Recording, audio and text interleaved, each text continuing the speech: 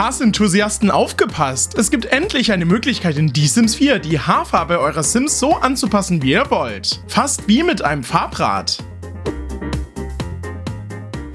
Ein Feature, welches die Sims-Community wohl fast am meisten nach neun Jahren The Sims 4 immer noch vermisst, ist das Farbrad. In The Sims 3 gehört es noch zum festen Bestandteil, mit dem man sogar detailliert den Ansatz, Strähnchen und Spitzen anpassen konnte, die in The Sims 4 maximal als eigene Farbalternative bereitstehen. Bis jetzt, denn dank einem tollen Community-Mitglied können wir jetzt im Ersteller ein Sim auch ebenfalls die Farben noch detaillierter anpassen.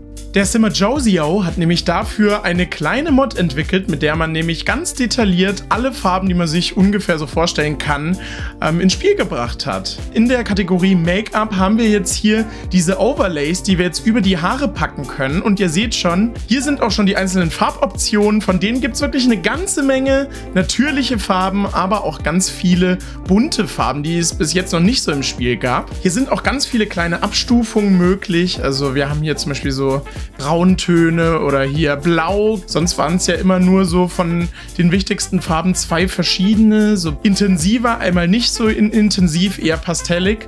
Und jetzt können wir hier am Farbton ebenfalls noch so ein bisschen rumdrehen. Ihr seht schon, wenn man hier die bereits vorhandenen Make-up-Slider verwendet, dann kann man den Farbton auch noch in seiner Abstufung anpassen. Zum Beispiel, ich möchte ihm jetzt diese Haarfarbe hier geben und das kann dann ebenfalls so ein bisschen angepasst werden. Das soll ja realistisch aussehen, deswegen hier wäre es dann so ein bisschen grüner aber ich möchte das wirklich neutral haben. Ich glaube, da passt die Mitte eigentlich perfekt.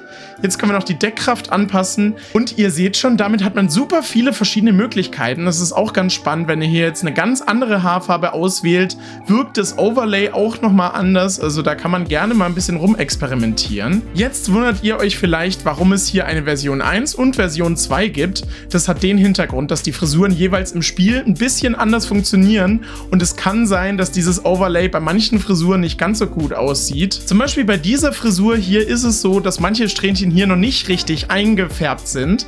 Dafür ist dann die zweite Variante gedacht. Ihr seht schon, jetzt passt alles hier ganz gut zusammen.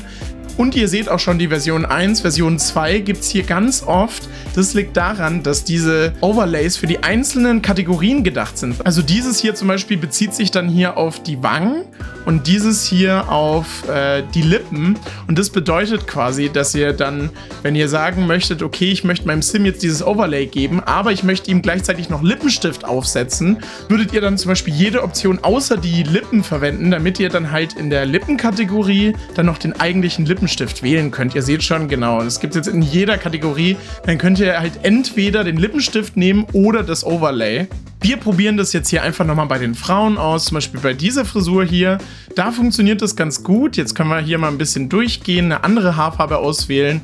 Also gerade meiner Meinung nach so für ein bisschen buntere Farben, also nicht natürliche Farben, äh, macht diese Mod auf jeden Fall Sinn. Genau, jetzt kommt hier so ein Grün raus, wenn man ganz oft an diesem Regler dreht. Aber wenn man nur in kleinen Schritten vorgeht, dann äh, sieht man einfach nur so ein paar andere Variationen der Farbe. Es ist fast ein bisschen schade, dass die Entwickler da selber noch nicht auf die Idee gekommen sind, sowas umzusetzen. Wie man sieht, es funktioniert ja wirklich im Spiel. Also das jetzt mit dem richtigen Farbrad, auch in der Haaroption wäre natürlich noch mal schöner.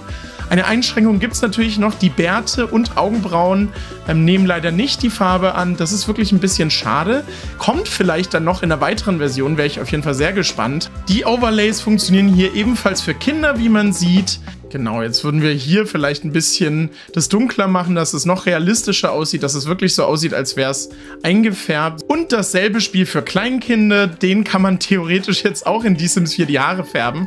Mit der Frisur, wie man schon sieht, funktioniert es leider nicht so gut. Hier ist es so ein bisschen ausgewaschen. Ist auch immer ein bisschen Glück dabei, ob das jetzt so funktioniert. Derzeit müsst ihr euch leider noch gedulden, bis ihr diese Mod wirklich kostenlos herunterladen könnt. Ich habe hier gerade mal die Patreon-Seite aufgemacht. Der offizielle Release ist für alle erst am 5. Oktober. Es dauert also noch ein bisschen. In der Zeit müsstet ihr leider jetzt noch 1 Euro investieren. Ist aber jetzt wirklich nicht viel und ich finde, dafür ist es auch wirklich okay. Hier sieht man dann nochmal ein paar verschiedene Beispiele. Also ich finde, den Sim steht das nochmal besonders gut. Es gibt ja auch irgendwie so Gesichtstypen, bei denen ja bunte Farben mehr passen als bei anderen und hier passt es ganz gut. Den Link zur Mod findet ihr natürlich wie immer in der Beschreibung. Schaut da gerne vorbei. Wünscht ihr euch denn noch ein Farbrad oder reichen euch die bereits vorhandenen Farbalternativen? Schreibt mir das gerne mal in die Kommentare und dann würde ich sagen, man sieht sich bei einem der nächsten Videos hier auf simsblog.de wieder.